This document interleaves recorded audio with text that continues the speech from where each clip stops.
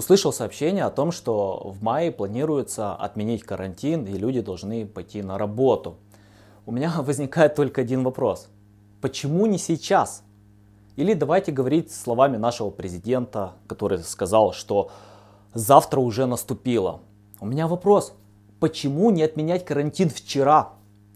Уже достаточно данных о том, что э, эту инфекцию уже не остановить.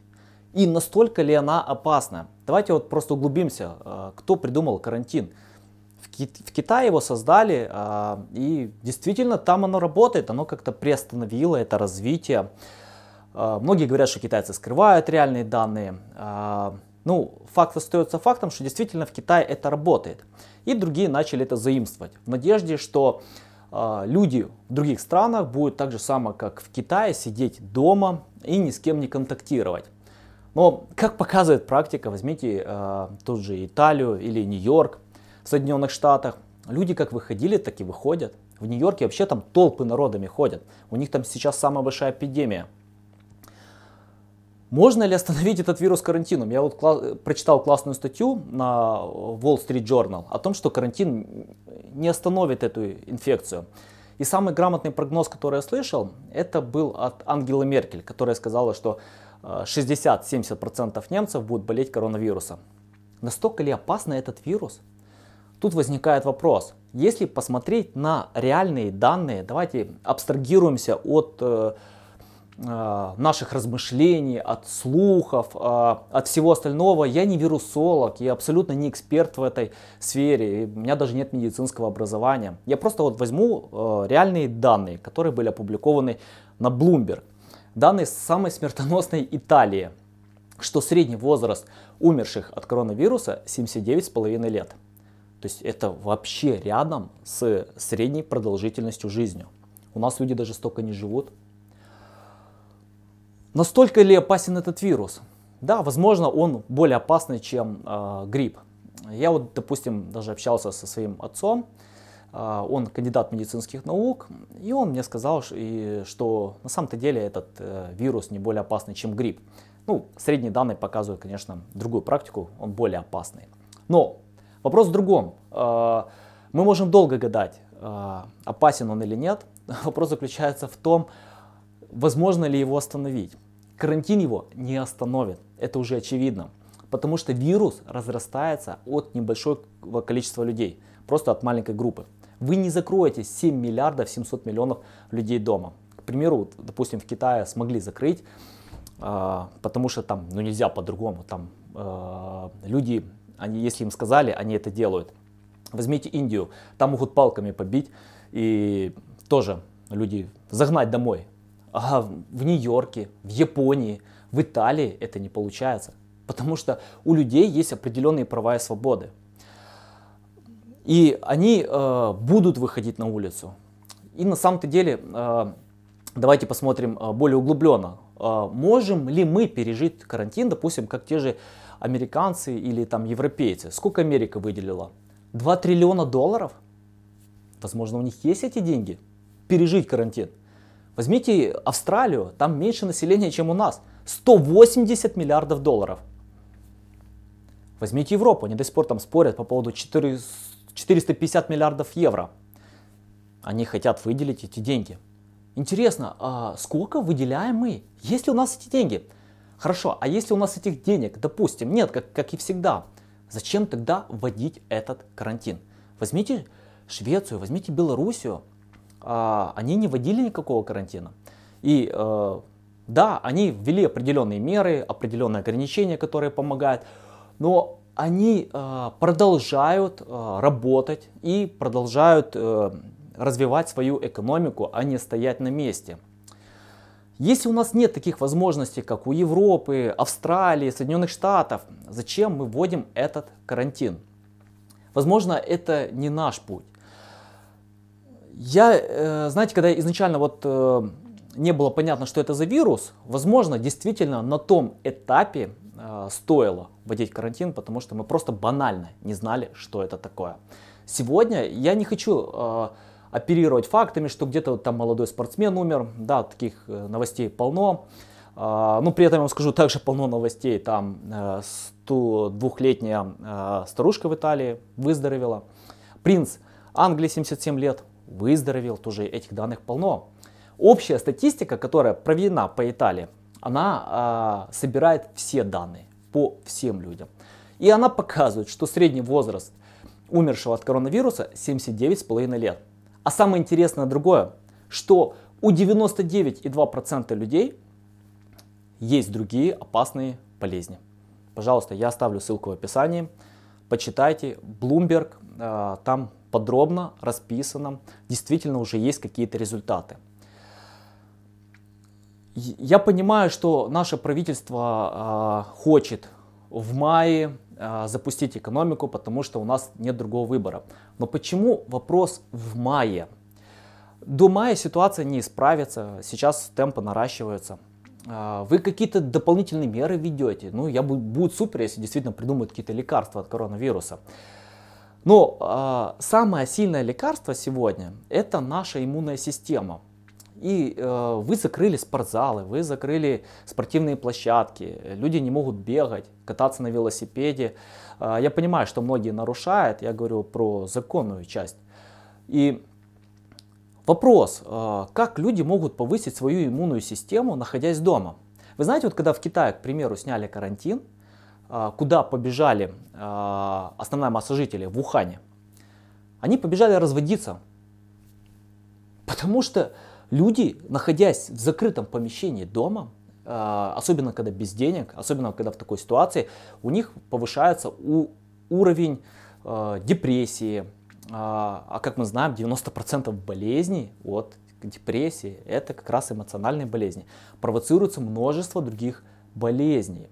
Знаете, во время чемпионата мира по футболу был повышен уровень насилия. А, в 2008 году это было тоже во время мирового кризиса а, повышен уровень э, семейного насилия. И э, сегодня это наблюдается то же самое. Люди, которые закрыты дома, э, вторая половинка, к примеру, не может убежать к маме, не может просто пойти куда-то пожаловаться, они закрыты. И, соответственно, вырастает уровень насилия на основанное, скажем так, на тяжелой ситуации. Я не считаю, что э, необходимо э, карантин останавливать в мае. К маю ситуация не поменяется. Данные будут расти, количество заболевших будет расти. Э, но если бы не было тех данных, которые уже опубликованы, пожалуйста, я оставлю ссылки, посмотрите. Не надо смотреть сквозь призму, что где-то единично заболел, на кого-то это повлияло. Надо смотреть на все новости, а не читать сквозь. И по общей информации, э, что люди, которые умирают от коронавируса, они действительно очень близки к тому, чтобы просто умереть даже от других болезней и от э, какой-то ситуации. Я уверен, что коронавирус, наверное, вносит какую-то лепту сюда. Но по общей статистике там не настолько все печально. Можно взять статистику по нашим странам, конечно, она там а, более высокая, но вполне возможно, что это связано именно с тем, что пока немного данных. И очень много людей, которые просто переболели коронавирусами, даже об этом не знают. Я вам скажу, у меня, наверное, полно знакомых, которые э, кашляли дома, отсиделись, вышли, корона была, не корона, непонятно. То есть, ну, соответственно, в Италии и в Соединенных Штатах там э, более глубокие тесты, там более, больше возможностей это определить. Ну, у нас, э, в принципе, э, те, кто умерли, вот определили по ним, что это коронавирус. Я вот хочу сказать, что э, в ситуацию, когда у людей нет денег, а если посмотреть э, реальные данные, что 6% населения имели деньги только на пару дней, я уверен, что они уже закончились. А, что им дальше делать? То есть, а если брать остальную часть населения, 40%, которые имеют деньги на месяц, то есть вы их под самую черту подведете, то есть им необходимо, а, я не знаю, срочно в мае бежать и как-то отрабатывать. А, в Германии, к примеру, опустили стоимость продуктов питания на 50% ну, у нас, по-моему, они только поднялись. То есть мы, у нас что, новый голодомор или что? Я, я не хочу хейтить власть. Я прекрасно понимаю, что когда а, мало информации, мало данных, а, необходимо принимать какие-то радикальные решения. Но сегодня эти данные уже есть. А, тот психоз, который сегодня есть э, в прессе, а, в слухах, а, то, что происходит, это э, действительно было страшно изначально. Ну, сегодня, но мы уже имеем эти данные. Э, люди, которые заперты дома, они не могут заниматься спортом. А лучшее лекарство сегодня против коронавируса это здоровье, это иммунная система. А, выпустите людей на улицу, разрешите им ходить. Ну, давайте соблюдать дистанцию. А, на самом-то деле там один метр достаточно. Возьмем два метра с головой. Два метра это, это супер. А, давайте, если кому-то э, спокойнее, пусть носит маски, не вопрос. На самом-то деле Всемирная организация здоровья не рекомендуют носить маски, да, потому что они, э, маска не предохраняет от коронавируса, ее должны носить только исключительно э, в помещении, исключительно больные. Ну, если взять там данные по Азии, они не совпадают, мнения. Э, вполне возможно, что э, в Азии не маски остановили э, болезнь, а то, что они действительно как-то смогли э, запереть людей дома. Э, но в свободных странах, такие как Америка, Европа вы не запрете. Даже у нас люди, их не запереть дома, и они будут выходить на улицу.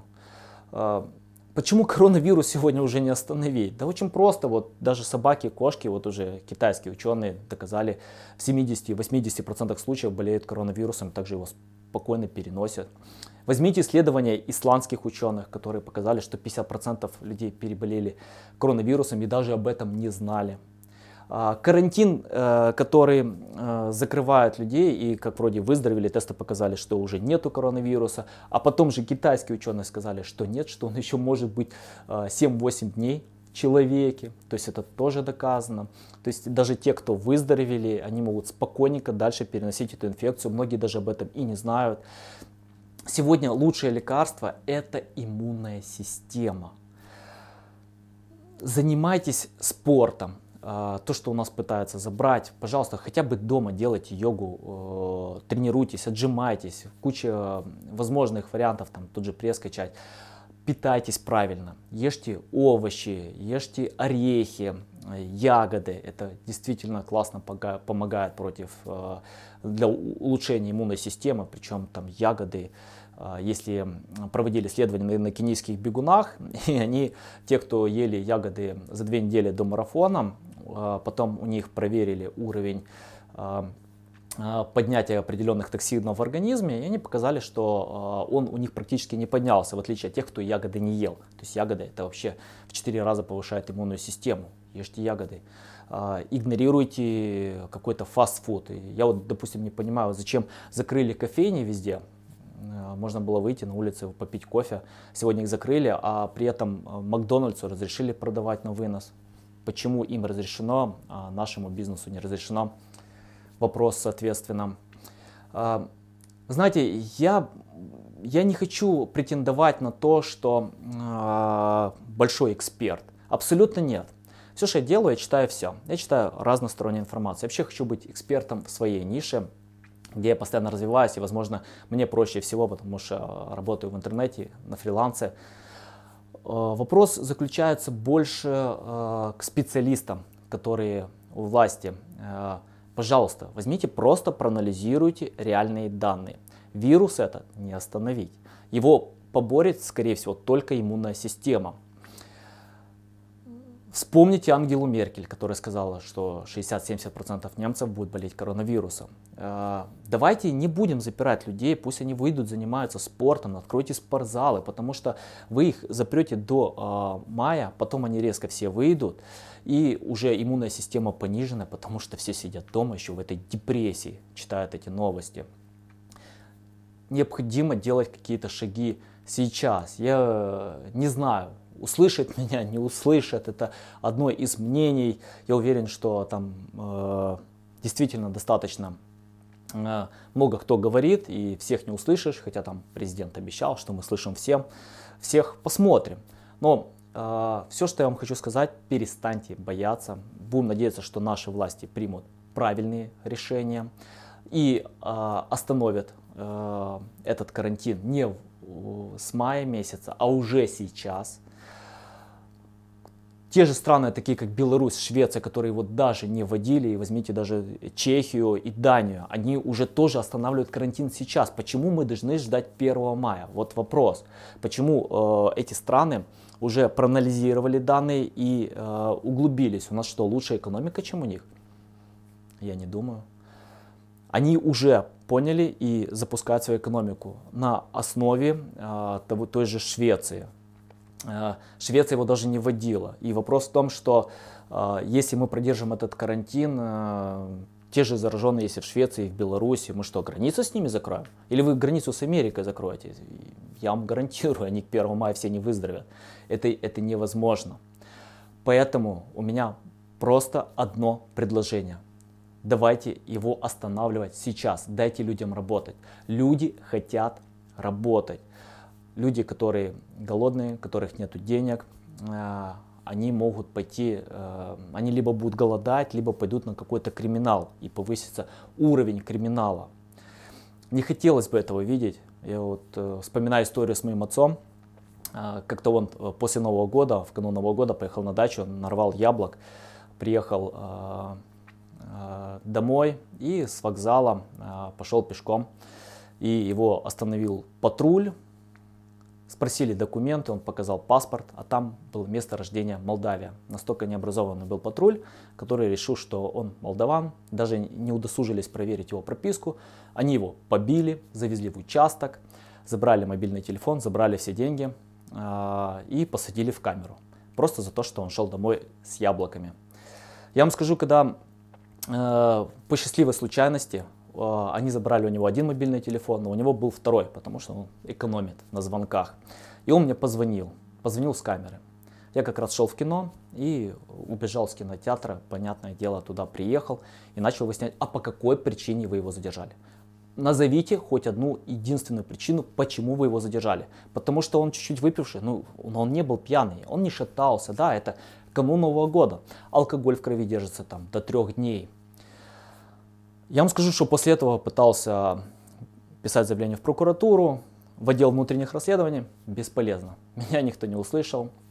Дело замяли, как всегда. И э, вы знаете, что у нас есть другие проблемы, которые необходимо решать. Э, вот этот уровень криминала, он может просто сейчас активно подняться из-за того, что у людей нет работы. Возьмите ту же Америку. У них в марте рекордная покупка оружия. 3 миллиона, э, даже более э, количество оружия куплено в марте. Зачем люди покупают оружие? Вопрос, да, чем больше оружия, тем больше э, всякого криминала будет. Не доводите людей под эту черту, дайте им сейчас работать. Вы знаете, я вот даже вот когда э, хотел, э, допустим, постричься, к примеру, да, и просто все закрыто, я не могу постричься. И у меня, знаете, последнее, что печет, это моя стрижка. Вопрос в, в парикмахерах, э, в барменах, в турагентах, что им делать? Они должны отсиживаться, э, ну, огромное количество населения живет от зарплаты до зарплаты. Э, в Соединенных Штатах 6 миллионов американцев э, пошли и попросили дотацию да, на вот этот период. Им выделили огромные деньги. А у нас поднялись цены на продукты питания. Нету денег, дайте людям работать. Один раз даже читал вот классное исследование, тоже оставлю ссылку в описании, по поводу Австралии, что э, там провели исследование, почему вот э, в постсоветских странах люди меньше болеют коронавирусом. И э, по данным этого исследования было, что возможно из-за того, что нам когда-то делали прививки еще в Советском Союзе от туберкулеза, я не знаю, есть ли у вас здесь на плече вот такие отметины, но Возможно, это и есть наше э, противодействие коронавирусу, потому что у них очень схожие э, компоненты этого вируса. И даже там 4000 врачам в Австралии э, тоже планируют сделать эти прививки. Э, я оставлю ссылку в описании, вы можете это посмотреть. Возможно, нам уже, мы уже привиты и не такие у нас страшные данные. Э, я хочу только предложить, пересмотрите реальную ситуацию и примите грамотное, взвешенное решение. Ну, а нам только стоит ждать и надеяться, что оно действительно будет правильное и полезное для всех нас. Спасибо. Заботьтесь о здоровье.